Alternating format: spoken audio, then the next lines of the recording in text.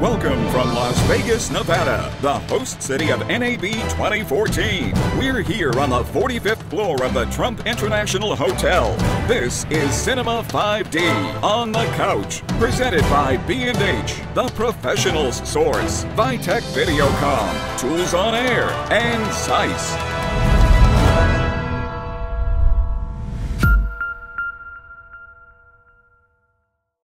So welcome back. That's the second part of the fourth episode of On the Couch. Now, now we're here with Canon and Sony, competitors sitting on the same couch. That's Peter Yabsley from Canon Europe and um, Fabien Pisano, now I have it, from Sony Europe. Welcome. Um, let's talk about your new products. What's new from Canon? Uh, well, we got three main things on the booth uh, this time. In terms of cameras, we've taken a step back to the more traditional camcorder line and we've introduced two new products, the XF200 and 205. So they're going to sit between the existing XF100 series and the 300 series. Those, those products will carry on, um, but we've got the 205 and the 200 in the middle, and the same as our other lineups, those two cameras are just distinguished by the fact the 205 has uh, timecode Genlock and SDI output, so for multi-camera or small studio, um, you've got the choice there. The 200 is exactly the same camera. And the concept of those is really to try and marry all of the best features that we've introduced in our cameras over the past couple of years into a really, really compact and mobile, versatile body that's really easy to use, lightweight. So it's a very small camera, but operationally it's completely designed from scratch. Um, it's really, really nice to use. There's a whole host of, of useful features in there.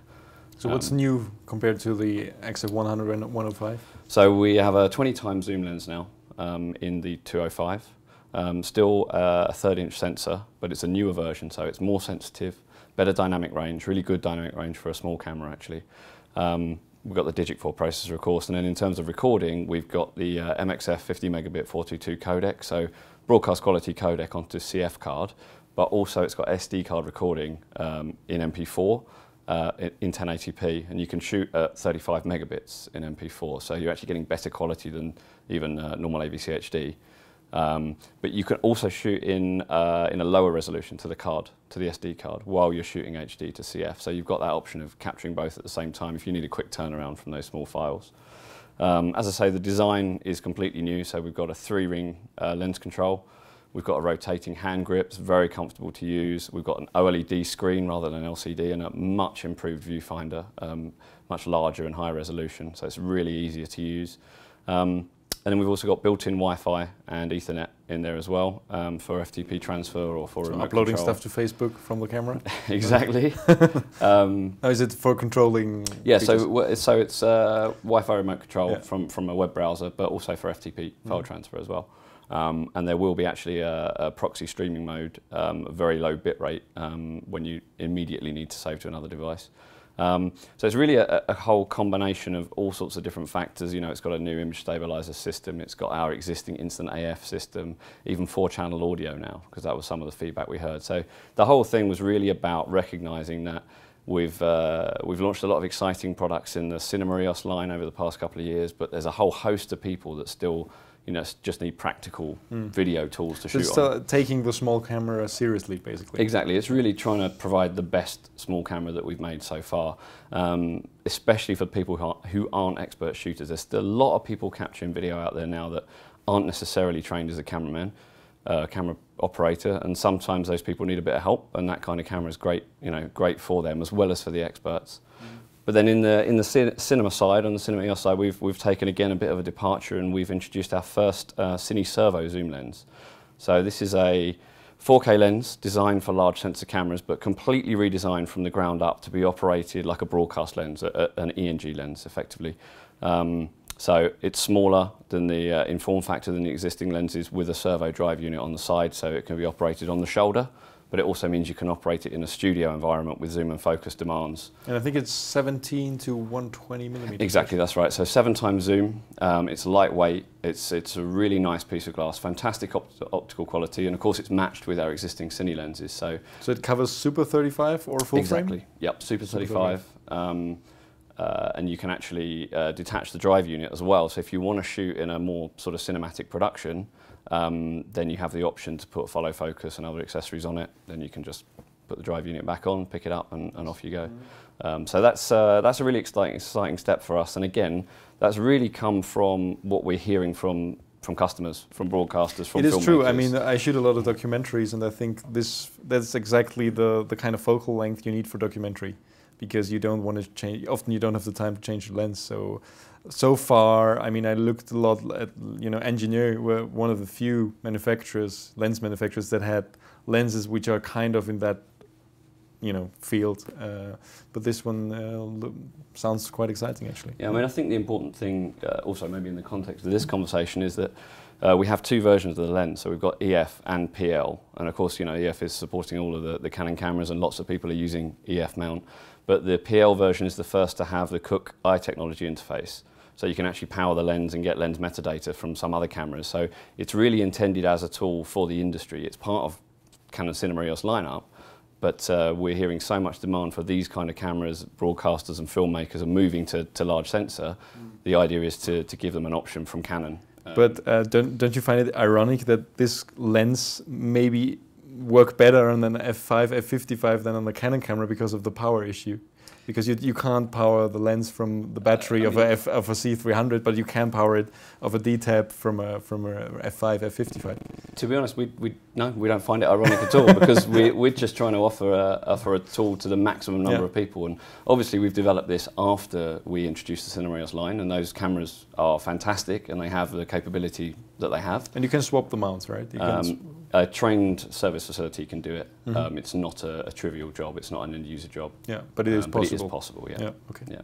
So that's uh, yeah, that's really that's a really exciting thing for us, and it's very much there's a big story about lens on our stand this year, and about Canon's uh, heritage as a lens manufacturer, and, and um, you know maybe refocusing a little bit more on, on glass because uh, we all like to talk so much about cameras, which True. are of course very important, Yeah. but for us it's uh, it's all about glass as well. True. I mean, in the, the show we had earlier, we recorded earlier today with Thijs, that was exactly the issue because people talk so much about cameras, especially on this show.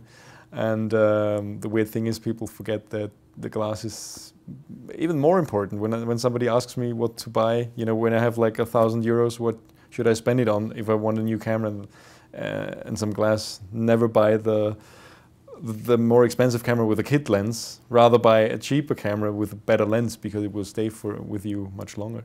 Um, what about uh, Sony? What, what's new from Sony? All right, so there's a lot of new stuff at NAB.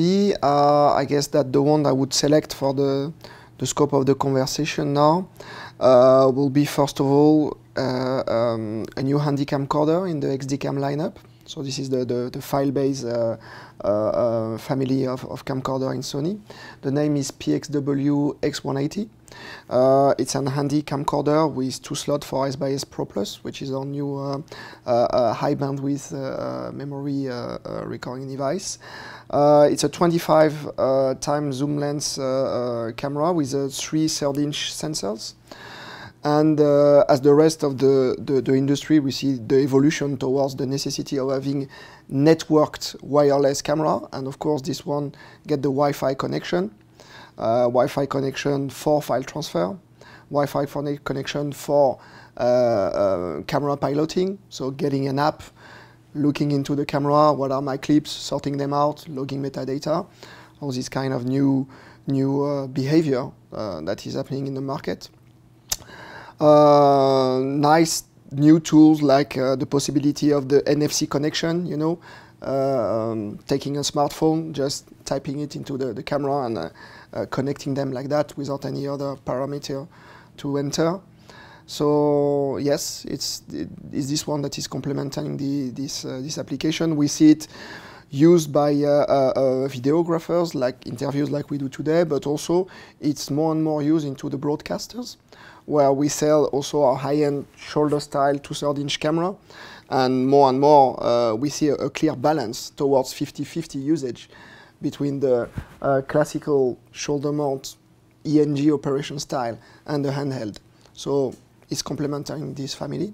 So this is the first one.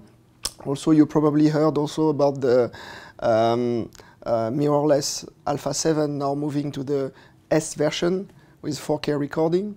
So this is what uh, there's a lot of people. There are far more people on the booth queuing up to this part that I, I would have thought for a high-level show like uh, like NAB. I'm surprised, and um, so it's generating a lot of interest. Also by the the, the key rental house that usually buy some 20k, 40k package for cameras, but they're really considering it as a additional tool, crash cam, not even B cam, crash cam for some 4K shooting. So this one is interesting. And the last part, which is uh, closer to my heart because it's my direct line for Europe, is the cinematography F series, which are now uh, benefiting from a, a, full brush up at NAB. Uh, the, the strategy in Sony is, is to try to limit as possible the launch of, of new product, even if the market is super demanding. There was a huge, huge demand since one year of the F series were launched for a, a dedicated shoulder style, uh, big sensor documentary uh, uh, camera. And we, we resisted to, to, to this. And uh, more than launching a new camera, we launch an adapter uh, uh, um, um, that will that will host the F5 or the F55. So it's a it's a shoulder adapter that will be an accessory, and this accessory will bring you everything that you you want or you used to have on a Digibeta camera typically or a TV cam camera. That means wireless audio. That means shoulder pad that you can move uh, forward and backwards to balance the, the, the zoom lens. That means all the classical controls of white balance, gain, starting the camera, uh, uh, changing the audio level. Everything you need to be alone on a shoot with a camera on your shoulder, but then it's a big sensor 4K camera. So the you also announced that the F5 is now upgradable to an F55. Oh yes. So How does that work? Uh, is it yeah. only is it hardware upgrade? Or? Yes, it's a hardware upgrade. The um, the major difference between the F5 and the 55 lies into the sensor. Uh, the F55 having this super uh, wide gamut uh, uh, global shutter sensor that will avoid all the you know all the rolling shutter issues and all, all this. Um, so this came came clear that a lot of people made the choice initially of the F5 for cost reason. Now looking forward to get this feature of the global shutter plus internal 4K recording with XAVC, you know, without having this external RAW recorder to get a full 4K workflow. So uh, instead of them putting that on the gray market, and getting back an F55, we're now uh, allowing this, uh, this camera to get back to us in our labs and be changed on the sensor side and also internal boards. So this will be, uh, the, the cost of this, of course, we're going to calculate so it match uh, as best as we can the price of an F55. Mm -hmm. That means that will be transparent for any F5 user so you will to upgrade to F55. End up not, not paying so much more if you did well, I think I think the price gap is something like 10k, and um, yeah. So for the upgrade, when you have the upgraded F5, yeah, you will end up having be, paid almost yeah, the same as it should be the same cost as an F55. Okay. Mm -hmm. All right, and uh, the, the, the the last one that is worth mentioning yet uh, as well is the um, is the ability. Uh, by IBC timing to also have an hardware upgrade that will be chargeable as well to uh, extend the codec portfolio to Apple ProRes and Avid DNX. And this is meant to streamline the ingest and the process, both into some production house that have typically some Final Cut Pro and servers, or broadcasters that own their own F555 fleet and usually are very widely used Avid system. So that will be a hardware upgrade as well? Oh, yes. And is it 4K ProRes? So all the flavors, all the resolutions? No, it's uh, HD, is the ProRes for 2K. Okay. For 4K, we are really committing to our XAVC format that is now quite widely interoperable into the, the main NLE and uh, and the server manufacturer. So we're really capitalizing on this XAVC uh, uh, codec, which is, by the way, a very open codec. You can play it in, uh, in VLC. Mm. You also mentioned the A7S and that you were surprised by the response that it had. Well, I'm surprised here at NAB, which is National Association Broadcaster Show. Uh, yeah, the, the crowd around this, and uh, it's not only videographers and cinematographers, really people seeing yeah. it into the a full chain. Basically, it's fitting into a chain, and uh, even myself, I was not I was not anticipating that. I have to say I'm not surprised at all because people Yeah. want small cameras, and I think Yeah. Canon has been very strong on that part with the C300, C500, 1DC, Mhm. and that's where Sony, from my point of view, needs to catch up because Mm-hmm. still. I love the F5, F55, and all the features they have. Mm, It's not the same the anymore. form factor, the form factor is like more the traditional box-shaped form factor that we have come used to for ages. Of course. When when cameras were still eating tape, you know, like uh, this- there is a there is a big market, I think, for small cameras, and Mm. there's a, a lot of uses for them. Um, in small rooms, in, in, in special environments, you are just Mm. faster with small cameras. Of course, you're aware you can't do exactly the same thing eh, in terms of uh, dynamic range, in terms of uh, recording format. It would record 4K, but in long, long up, it won't be able to sustain the 600 megabits per second of what an SxS Pro Plus Yeah. can do. But of course, So the Everyone- Sony A7S is quite exciting, very small 4K camera with a very good codec. If you you have to record externally, but the XAVC-S is very very good. Uh, is there anything from Canon where we can, you know, we we've been waiting for for a small mirrorless Canon camera with a quality that can match the the DSLR range uh, for a while now. Is there anything on the horizon or nothing you can talk about? Well, naturally, nothing I could talk about. but I mean, no. What what I would say is, um, in in the video arena, particularly, you know, we've been quite focused on um, introducing the Cinema EOS series and expanding it, um, especially from the lens point of view. So we're only just over two years into the the cinema business, if you like, or the large sensor business. We've got four cameras, we've got 11 lenses. Um, there's really a lot you can do with those, and that's you know that's taken a lot of our focus. Um, and we've also introduced some traditional camcorders in that time. So you know naturally there's a, a sort of uh, a limit to to what we can do and how quick we can do it. But we're, we're always looking to see what the what the next step is and, and listening to what people are, are saying at these shows and what, what kind of products they want to use. And I think you know what we've what we've done with Cinema EOS, for example, shows that in the development from the 5D particularly. Um, and we'll, we'll keep doing that. The, the CN 7x17 times is another perfect example. Um, so we'll, we'll keep going. Um, I mean, the other, uh, let's say, thing that we've introduced that did also come from, uh, in part from user feedback, really, is this idea of autofocus, um, which we were talking a little bit about earlier on. So um, it's well known that, especially for, for less experienced users, um, focus is a, is a very difficult uh, issue with large sensor cameras. Um, and with the new dual pixel CMOS uh, AF technology that we have, um, we've been able to get around that issue somewhat and give the users a, a, a bit more help. So in the EOS 70D that we uh, launched fairly recently, the DSLR camera, um, we introduced this technology for the first time. Um, but we have actually implemented it in the sensors in the C100 and the C300. Um, it's just at the time those cameras were launched, actually the system wasn't fully developed and it wasn't ready to go.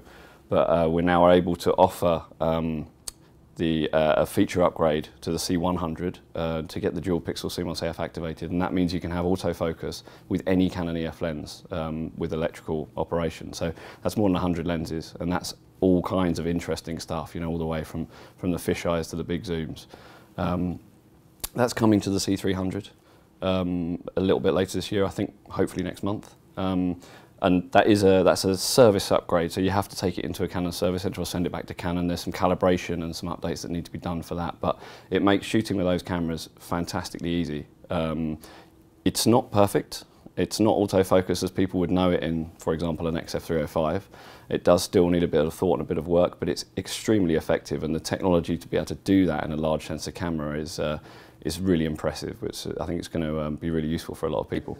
It is nice that I mean, in general, autofocus from us professionals, we never liked it because we are used to it not working properly. It's this typical that you thing that you know from older, you know, mostly, yeah, like uh, CCD cameras where they keep looking for the focus point and just don't find it. And I think it's, it's, it's uh, the new. Uh, I, I tried the one on the C100 and it works quite well. I mean, of course, as you said, it has some issues, but I think mo- many of them stem from the lenses because the lenses are made for stills. Yeah, I mean, Uh, you know, there, there were always technical limitations in the past, um, and some of those have been overcome. Um, but really, it's another option. You know, depending on how you're shooting, you were just talking about small cameras, big cameras. It's not going to be for everyone, but with a camera, particularly like the C100, uh, we designed that to be um, a single shooter's camera as far as we could, uh, or for small crews. Um, so adding that kind of feature is going to help those users. And to be honest, when we announced it, so many people were excited and interested that you know it, uh, they, there was just great demand to have it in the C300 as well, which surprised us a bit because we were expecting more of this kind of uh, sort of traditional cinematographer's feedback of I hate auto, I want everything manual. But actually, um, yeah, there's been a, a, a, very positive response to the idea of putting it in. well, you know the you know the hype about handheld stabilizers like the Movi and all the copycats and all this, and on these things, it's very useful to have. That's where I used it uh, on the 70D and the, and the C100 on the Movi because you don't need remote follow focus is an extremely expensive device. Of course, it has its uses, and it, if you need critical focus, you still need to use one. But if it's just you know documentary style shooting with one of these gimbals, uh, it helps you if there is proper autofocus, and that's you still want to be able to have large sensors, and, and so far the two didn't go together. This is quite a, an interesting topic, I think, as well, though, because. Um, there's maybe a question as whether you do need the large sensor on those devices if you're not going to go for a very shallow depth of field. Um, because actually these kind of small, let's say more traditional camcorders, which have a lot more automatic functions and are easier to control, especially with the Wi-Fi remote control these days, um, are a good option. Uh, not for all circumstances, but I think are sometimes uh, not always considered by people these days. The kind of default is to go for that large sensor. I agree to a degree, but there are two things that are problems. First of all, the light sensitivity very often, you know, you, with the small cameras, you're just limited and in, what kind of light you can shoot. Depending on the situation, yeah. And the second one is simply these gimbals, like the Movi, can only camera, take cameras that are about this long. And many of the smaller cameras are very long because they have a built-in lens. So, and it gets much more more difficult to to actually be able to balance them on the rig. Yeah, I mean, of course, it depends on the device, but I think also we're seeing so much stuff shot on. Uh, uh, on copters these days as well. Um, and in those situations, um, obviously there are more challenges with the large sensor. It's a bit tougher to shoot in some situations, and uh, you know it, it's it's good. I think that there's still uh, all those choices out there for people to consider, and, and that kind of thing is also somewhere where the the 205 um, is a good option because you've got the Wi-Fi control, you've got SDI output, so you can record, you know, on a high bit rate if you want as well um, with the big zoom, with all the auto functions as well. So just kind of having that palette of things for people to consider and trying to make it as easy as we can with the technology that's there. Mm -hmm. So you both, I don't know how long you've been working in this industry. I, I guess for a while. Uh, you've we've seen it develop immensely over the past 10, 15 years, and and and, and it just turned upside down. And there's a lot of new market for video that hasn't been there before. Uh, with regards to the the products that you have, where do you see what are the major trends that you can make out with regards to what kind of stuff people shoot? Is it changing? Or um, need, do cameras need to be more versatile? And uh, what has changed compared to, let's say, 10, 15 years ago? Right. So I've been, yeah. A big question. No, no. Big uh, answer, please. no, it's it's. I think you you, you already uh, there's big part of the answer in your question already, but uh, uh, I've, I've been in, in this business for 13 years myself, okay? And uh, um, what, I, what I reckon as the, as the major move uh, will be the fact that the, some, some segmentation, sorry, it's a, it's a bit technical marketing word, but it's really like that. Some, some markets of the, the, the production that were apart, like cinematography was really a part. And uh, I remember 10 years ago, 35 millimeter was nowhere near to be attacked by anything because it was uh, really the holy grail and still is in some case. Uh, but was really separated fro from the rest. Was really a big gap between cinema application and, and TV uh, with very different tools. Uh, the same you had all the corporate video shooting, like what we are doing today, and then broadcasters shooting news gathering with quite different tools. Okay, and, and really there was also a big gap here in terms of quality, sensitivity, stability, everything you wanted.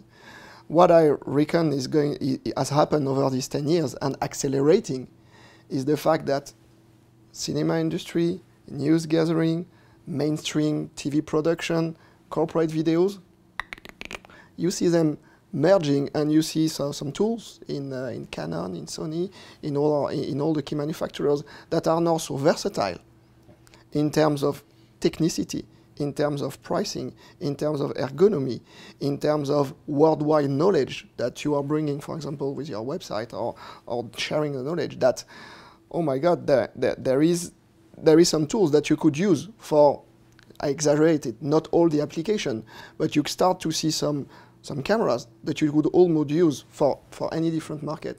This is a clear trend that, that, that, that has been very visible. It's really concentration of the technology that could then, with some tools, apply to so many different usage.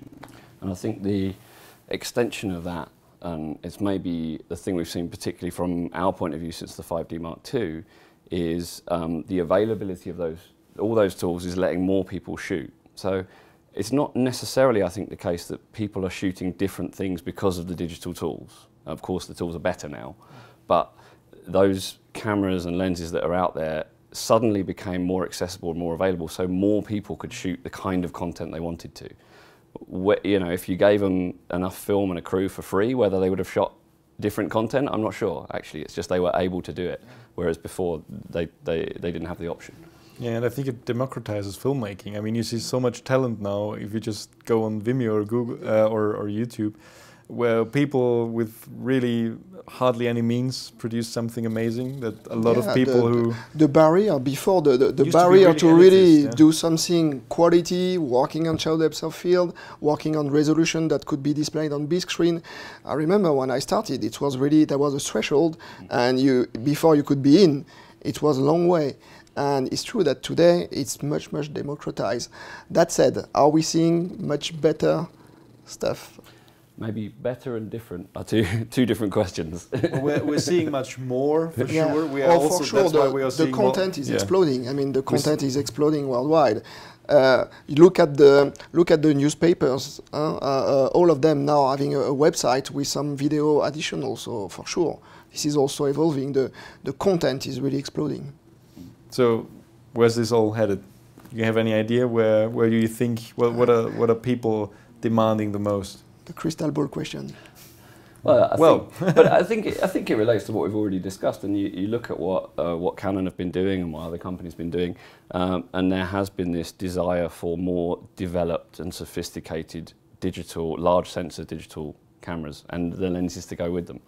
So I think you know we're going to see more and more people still wanting to shoot with large sensors, right or wrong, whatever for the circumstances.